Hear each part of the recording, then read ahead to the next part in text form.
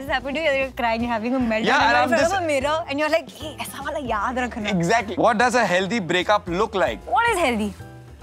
What is breakup? what do you want to say to your ex? Oh, God. That's the camera. Ooh, controversy. No, no. Next question.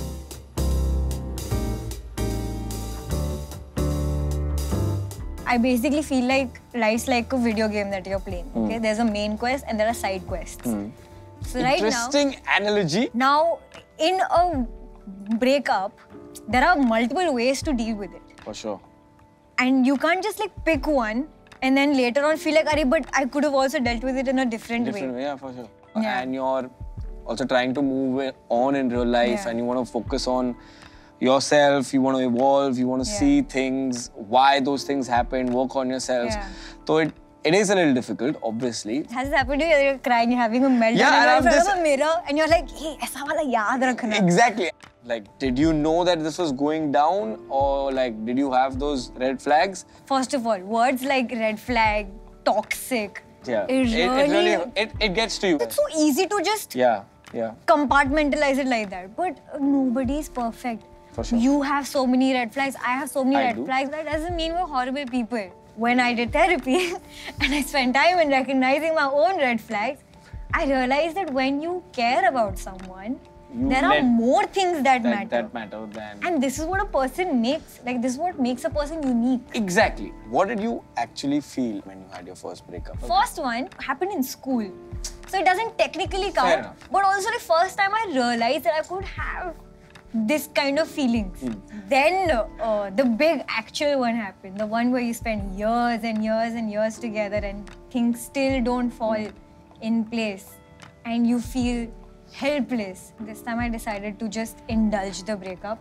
Like Rather really than like avoiding it. Huh. Again, like I grew up thinking of breakup as a very floozy thing. Everybody is like, अरे इनका breakup हो गया. Ah, fair enough. कितना offhandedly people sometimes break the news to other people. This is the first time I felt like what it actually means. Ah, like heartbreak. Heartbreak. You can't put a time on how somebody's coping mechanism works. Somebody might be taking a loss in three days, or some take months. So that doesn't not value the relationship I was in or the love I had for that person. Now, it's very important that only after you've coped well with yourself and uh, with the situation and you think you've healed a little is when you should probably indulge in the person's social media. That's a little unhealthy because it's going to remind you of a lot of things. Yeah. So we've spoken about moving on generally in life, but do you think there is a certain thing called moving on too fast? In my head, moving on always meant this is over, now try looking for another person. Now that I've grown up, moving on means this is over, try to understand why it's over. And until and unless you're not sure of who you are, don't get another person involved. Fair enough. Yeah. And Because however, the same thing is going to repeat. yeah, so however relation. long that takes, and meanwhile, if you find someone who's vibing with you, give that a chance. You have evolved, my friend. You have evolved. I try. now that I have found like some sort of balance in life, we're still not completely out in the normal world, Yeah. right? You're still at home. There's no opportunity to run into somebody for that meet cute, but you have access to social media and you Yeah. have access to a dating app like Bumble and you can just match with someone and talk to someone and still it gives you some sort of normalcy that there is something out there waiting for you. you can't meet anyone, you can't hug anyone, you can't talk to people. You know, at that point of time, I feel it's so dangerous. Because you want to go back to that familiarity. yes, you want to go back to that person. You want to like call your ex. So this is something that people do specifically to just move on, and they will just aim for a rebound, like just go looking for a rebound. Hmm.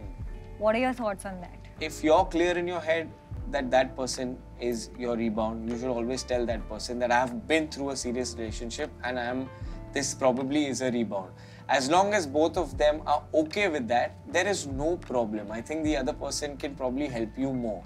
But if you're going in with this is my rebound and that person is looking for a relationship, then I feel it always ends badly and you're in more misery now. What is your opinion on two exes wanting to give it another shot. They don't want to be in a relationship. It's because of some reason, maybe time, maybe effort, maybe commitment, whatever. Then you've decided that those feelings are not going, and I feel uh, I should get back to the human being.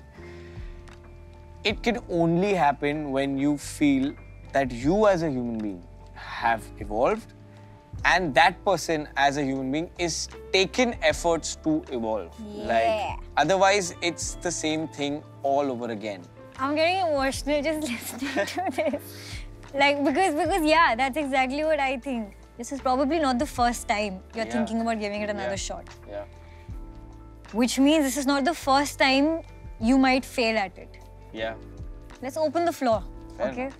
You've done something which is very rare. You've been in a really, really long relationship Yes. and uh, give us a little insight. Working on it every day, I feel. Uh, if I feel when you get into a new relationship, uh, uh, it's all hunky dory, it's all great, and you know, uh, you have so much to talk about and this and that, and it's easier. But when you're dating somebody for that long, you need to constantly put in the effort. It's the time when it's going, when things are not working out in your life, uh, but that person is doing everything to still be there for you. Yeah. And you know that's that's something which is Hold very up the Hold- falling yeah, pieces. Yeah, and I feel also respect in a relationship is very important, and being very good friends. I think that's the key to. But she's every- your best friend. She's my yeah? best friend. Yeah. And for me, also one more important thing is that I want my partner to be inspiring, and I want to be inspiring for the partner. अभी बहुत ज्ञान दे दिया. I think it's time to have a little fun. So let's play a game. The question game. Dun dun dun. Are you ready? I'll ask first. Okay, ask. Aishmera, Hmm. how long do you take to move on from someone? 10 to 15 days and then I move on. Not from a relationship like that, long relationship, but as if I've had a fight with a friend and this and that, I'll take 15 days and I'll be out. Next, have you ever kissed an ex? Ooh, controversy.